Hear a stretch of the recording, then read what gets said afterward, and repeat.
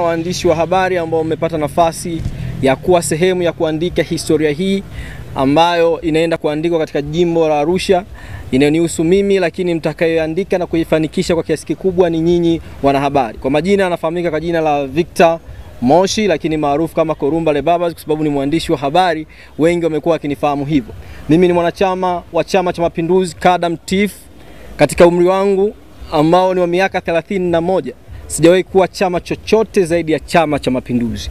Nimejipima na kuona kwamba nastahili kuwa sehemu ya serikali ya Chama cha Mapinduzi kupitia kutia nia katika uchaguzi huu wa mwaka 2020 na sio kosa na sio dhambi kwa mimi kama mwana CCM ambaye ninapewa haki kikatiba ya kugombea, ya kuchaguliwa na kuchagua kuwa sehemu ya mabadiliko makubwa yanayoongozwa na mwenyekiti wa chama taifa Daktari John Pombe Magufuli.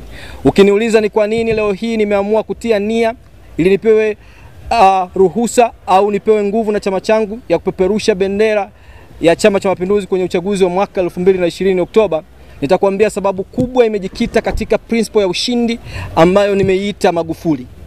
Katika principle hiyo ya ushindi au kanuni hiyo ya ushindi ya Magufuli, herufi ya kwanza kwenye neno Magufuli au jina Magufuli kuna M ambayo mimi kwangu naitafsiri kama maendeleo, mapinduzi ya maendeleo. Na mapinduzi ya maendeleo katika jiji au jimbo la Arusha yamejikita sana katika uchumi, na uchumi huo umewezeshwa kwa kiasi kikubwa na uwepo wa serikali ya awamu ya tano ya Daktari John Pombe Magufuli ambao ameweza kuboresha miundombinu, ameweza kuboresha vituo vya afya na maendeleo hayo yanaonekana kwa hakika. Mimi nikiwa kama mbunge nitakapewa nafasi ya kusimama jukwaani na Chama cha Mapinduzi na kueleza sera za Chama cha Mapinduzi, mikakati yangu itakuwa ni kushuka kwa mwananchi mmoja mmoja na kuboresha uchumi wake. Kipi nitakachokifanya nikiwa kama mbunge ambaye nitachaguliwa na wananchi baada ya kupewa ridhaa na chama changu? Nitakachokifanya katika asilimia hamsini ya mapato yangu katika vikao vya bunge kama posho nitazigawa katika makundi mawili. Asilimia hamsini hiyo itakuwa na asilimia ishirini na tano ambazo nitazitoa kwa UVCCM katika jimbo la Arusha, lakini nitatoa asilimia ishirini na tano kwa UWT katika jimbo la Arusha. Maana yake ni nini? Hawa vijana wakipata hizo asilimia ishirini 25 25 ambazo zinakamilisha asilimia hamsini wataweza kujiajiri kwa kuanzisha viwanda vidogo vidogo vikiwemo vya kufyatua matofali na kuyauza. Wataweza kuanzisha vi, uh, viwanda vidogo vidogo vya, ku, vya kuzalisha vitafunwa kama mikate na mandazi na kuyauza. Watazalisha mifuko mbadala rafiki kwa mazingira, watazalisha mikaa mbadala ambayo ni rafiki kwa mazingira, ambayo itawawezesha UVCCM na UWT kujiajiri wenyewe kwanza kama chama na kukiletea heshima kwa wanachama wa Chama cha Mapinduzi katika jimbo la Arusha, lakini pia kutoa ajira kwa wananchi wengine ambao ni wananchi waliopo ndani ya jimbo la Arusha. Kama haitoshi, jimbo hili la Arusha ni moja kati ya sehemu ambazo ni kitovu cha utalii. Historia inaonyesha na jiografia inaonyesha hapa ndipo katikati ya kitovu cha umbali wa kutoka Cairo Misri na Johannesburg South Africa. Kupitia hiyo tuna wamachinga ambao ni wajasiriamali zaidi ya elfu mbili ambao kwa idadi yao hata elfu moja hawafanyi biashara ya utalii. Nikiwa kama mbunge nitaweka mazingira rafiki yatakayoweza kuwakutanisha hawa wamachinga na kufanya biashara zao na watalii, hasa wale wanaotoka moja kwa moja uwanja wa ndege kia pale airport na kwenda hotelini. Hawa wamachinga wanapata nafasi ya kukutana nao katika hoteli hizo na kuwauzia bidhaa na itakuwa rahisi kukuza pato la mwananchi mmoja mmoja. Hiyo ni moja kati ya ajenda ambazo nitazisimamia kwenye mapinduzi ya maendeleo. Katika neno au jina Magufuli kuna herufi A.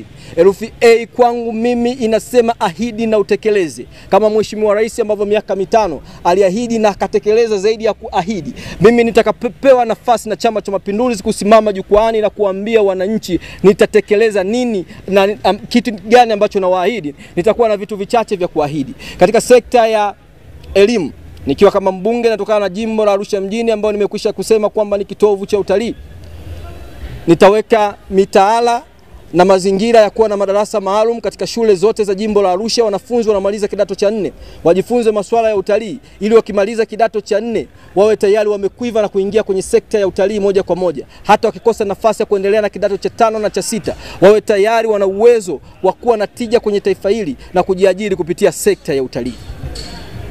Hiyo ni moja kati ya ahadi ambazo nazitoa kwenye elimu, kama nitasimama jukwaani kupeperusha bendera ya Chama cha Mapinduzi. Lakini kwenye sekta ya afya, serikali imefanya kazi nzuri na ya kutukuka tumejengewa vituo vya afya na serikali ya awamu ya tano, lakini pia tuna hospitali ya wilaya ambayo haikuwepo. Hizo ni juhudi nzuri sana. Mimi nitaenda mbali zaidi, nitampigania marehemu ambaye amekufa, mtu ambaye hawezi kutikisika. Tukimpigania na kujali haki yake, ni rahisi kujali pia haki zetu sisi kama wanadamu ambao tunaishi. Tuna changamoto kubwa ya sehemu za kuzikia watu wanaofariki katika jimbo la Arusha. Sehemu pekee ambayo mimi naifahamu ni ya Njiro, kama kuna zingine sifahamu.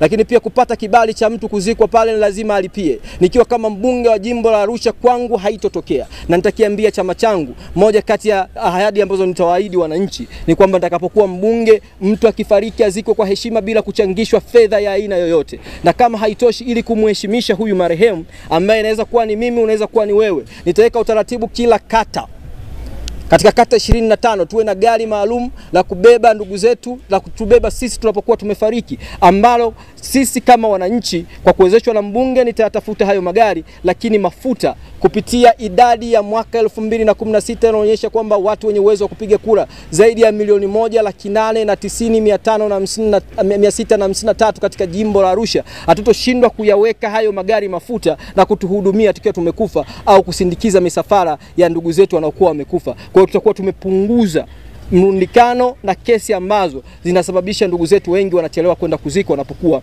wamekufa.